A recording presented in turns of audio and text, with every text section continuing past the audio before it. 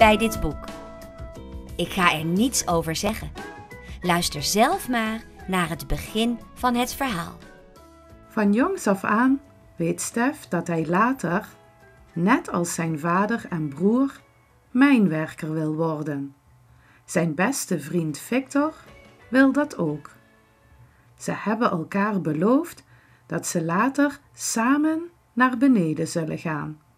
En dat ondanks het feit dat Victors vader in de mijn verongelukt is. De jongens hebben er een speciale, geheime club voor opgericht, waar niemand anders lid van mag worden. Maar de stoere Wietske denkt daar anders over. Zij wil bij de club, want zij wil later ook de mijn in.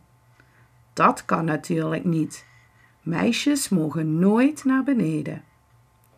De jongens vinden het uiteindelijk goed dat Wietske lid wordt, als ze eerst een test doet. Buurman Dries loopt namelijk als enige mijnwerker uit het dorp altijd zo zwart als roet naar huis, om daar in zijn eigen badkuip te gaan zitten. De jongens willen wel eens weten waarom dat is. Wietske doet meteen mee, want die is wel in voor spannende dingen. Ga maar even weg, zegt Victor. Waarom? Stef en ik moeten vergaderen. Kom over tien minuten maar terug. Wietske kijkt de twee jongens onderzoekend aan. En dan? Zul je wel zien. Goed. Wietske loopt met grote passen weg. Ze woont ook op het pleintje en verdwijnt in een van de huizen. Ik wil geen meiden bij de club, moppert Stef. Stom van me om ons te verraden. We moeten haar een kans geven, zegt Victor. Ze heeft altijd haar mond gehouden over de jonge koelpieten. Ze is betrouwbaar en jij vindt haar ogen mooi. Ja, maar verder is het een paard. Victor schiet in de lach. Een mijnpaard. Dat is waar, zegt Stef. Ze wil ook de mijn in. Dat is bijzonder voor een meid. Victor knikt. Daarom moet ze een kans krijgen. Op de openbare school wordt ze ermee gepest. Daar kan Wietske best tegen, antwoordt Stef. Hier in de kolonie plagen ze haar ook omdat ze niet katholiek is. En omdat ze niet kunnen uitstaan dat ze zo sterk is, zegt Victor. Vorige week heeft ze Colla Hameleers nog gebeukt. Net goed, zegt Stef, want dat is een klier. Mag ze nou bij de club of niet? vraagt Victor. Stef denkt even na en zegt: Ze moet eerst een test doen. Victor knikt. Goed idee. Maar wat? Het moet een echte test zijn, anders stelt het niet. Daar is Dries Speld, zegt Victor. Ze moeten altijd lachen als Dries uit de mijn komt. Hij is de enige die nog zwart is, want hij weigert zich te wassen op de mijn. De andere mannen duiken meteen het badlokaal in als ze boven de grond komen. Daar schrobben ze net zo lang tot al het stof uit hun oren en het zwart van hun lijf is. Stef heeft er ooit een foto van gezien.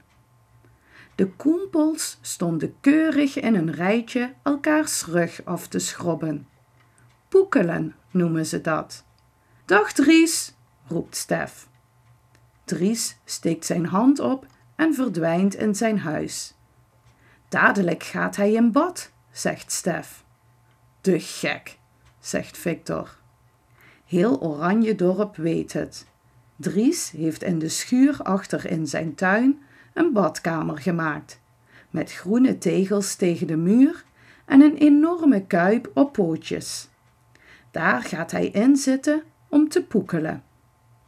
Een half uur voordat hij thuiskomt, sluit zijn vrouw de tuinslang aan op de gijzer in de keuken en vult het bad met warm water.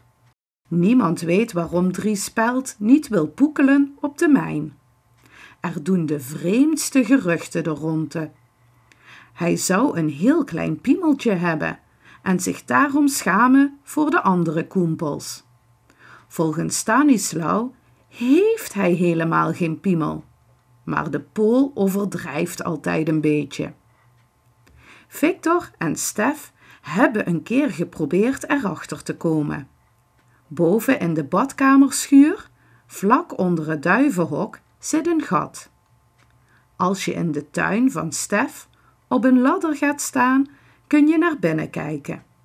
Maar het enige wat ze zagen was Dries in zijn badkuip met een heleboel schuim om zich heen. En dan nu het frappante fragment. Ik weet een mooie test voor Wietske, zegt Stef. Ze moet onderzoeken hoe het zit met de piemel van Dries. Victor steekt zijn duim op. Top! Als Wietske even later terugkomt, zegt Stef: Je mag bij onze club als je eerst een test doet. Goed, zeg het maar. Als de jongens vertellen wat er moet gebeuren, barst Wietske los in een bulderende lach en roept: Ik geloof niets van die kleine piemel. Zo'n grote man. Je durft niet, zegt Victor. Jammer, zegt Stef, dan mag je niet bij de club. Ik wil wel bij de club, protesteert Wietske. Kom dan maar mee, zegt Stef. Ze lopen achter de huizen om over een smal paadje dat het Getske wordt genoemd. Zo kunnen ze ongemerkt in de tuin van Stef komen. Even later sleept Stef vanuit hun eigen schuur een lange, smalle ladder naar buiten. Ze zetten die tegen de muur van de badkamer van Dries. Plotseling gaat de keukendeur open en de moeder van Stef komt naar buiten. Wat voeren jullie daar uit? We willen even in de zon zitten, mam, zegt Stef. Daar is geen woord van gelogen. De middagzon schijnt tegen de zijkant van de schuur. Moet dat op die ladder? Ja, mam, zo zitten we wat dichter bij de zon. Zijn moeder schudt haar hoofd. Stef heeft wel vaker rare ideeën.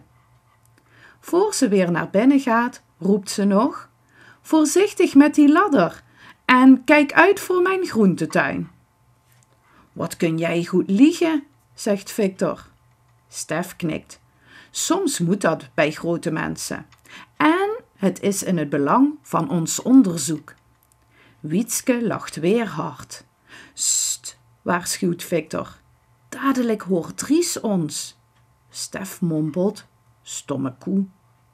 Nou zeg, fluistert Wietske nijdig en ze geeft hem een duw tegen zijn schouder.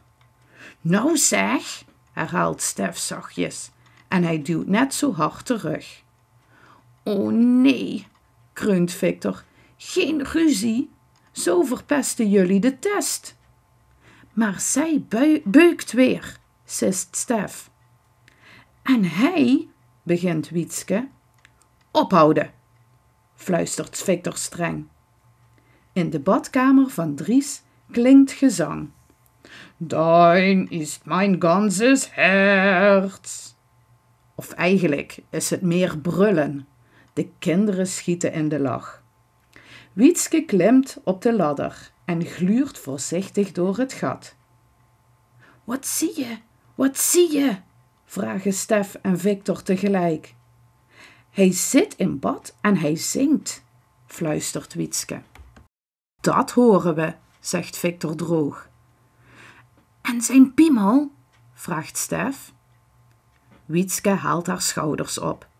Hij zit met zijn rug naar mij toe. Daar hebben we niks aan, zegt Victor. Hij boent zijn rug. Stef kijkt ongerust naar de keukendeur. Als zijn moeder nou maar niet naar buiten komt.